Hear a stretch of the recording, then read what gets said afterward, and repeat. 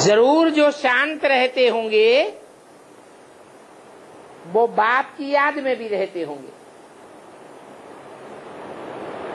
अशांत रहने वाले खुद भी अशांत होते हैं और औरों को भी अशांत करते हैं। फिर उनको बाप की याद कैसे आवेगी?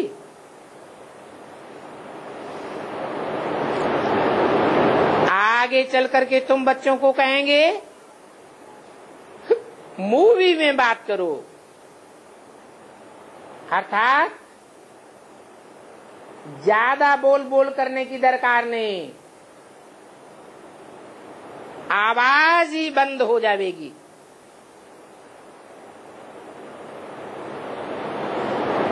ऊँची आवाज़ से भी बोलना नहीं चाहिए।